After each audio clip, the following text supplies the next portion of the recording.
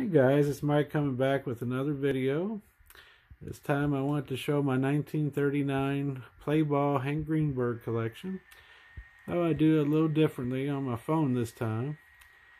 I've got six signed versions and five uh, others, two samples and the three regular versions but those are even broke down into capital letter backs and small and small letter backs. So just wanted to show all 11 of them. Well, I had them out here. This is one I just got back from PSA. It's a red ink signed sample back, which is tough. Samples are getting harder to find.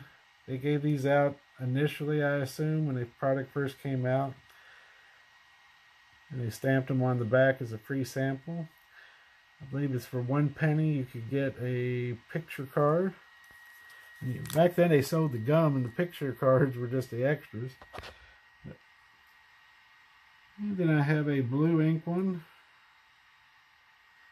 And my favorite of the bunch is this uh, is this period sign one. That autograph is probably from 1940 or 41, I would guess. Uh, me and Brian got a pair. He got the 40 and I got the 39. Looked like they were signed at the same time and put at this auction. Um, the 39 is my favorite Hank card of his playing days. Uh, it's just a great picture. Just everything about it looks great to me. And I'm a fan of the actual picture cards more so than the art cards. Uh, but I love that nice early period uh, signature on There's a black ink that I got at the first national me and Brian went to, I think 2008, where we walked the floor together and found that. So that was my first signed card. There's a green ink one that I got actually in a rare trade with Brian. Um, anything green ink with Hank I just love. And then I got another plain uh, red ink signature on this one. So I had six autographs. I got a mini rainbow going. I got a red, a green, a black, a pen, a blue, and one signed sample.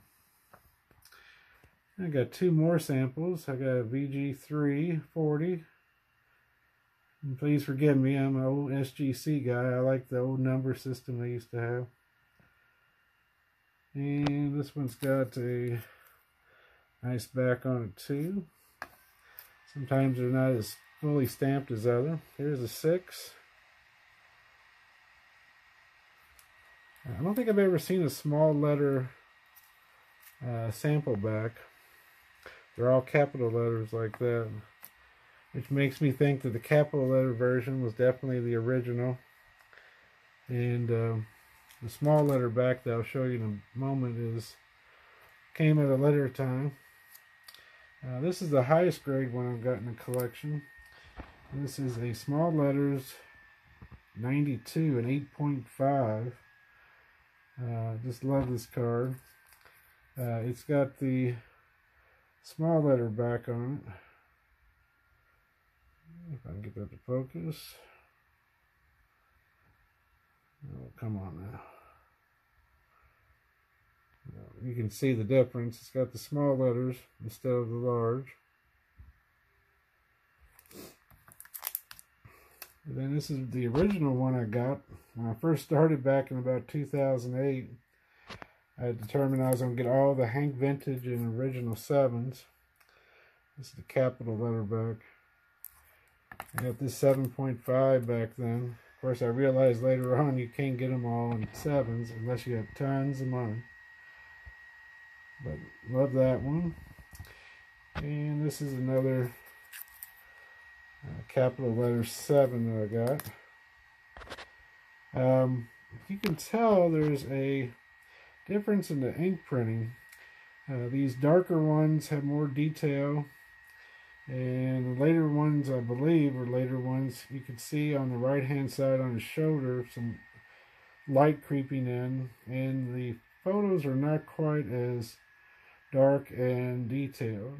I assume that as the time went by and they were pressing these, um, either the dyes or something that happened with them and they just didn't print and stamp as well with the dark ink.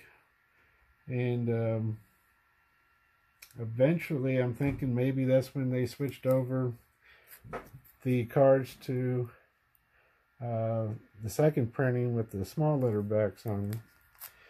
So just my theory, and that's one reason why all the samples are capital letters, because that's the way they originally came out. It'd be interesting to find a sample in small letters maybe one day. Uh, but that is everything I have as far as 39 Hank. And just wanted to show everybody while I had them out. But uh, thanks for watching, and uh, hope to see you soon. Thank you. Bye-bye.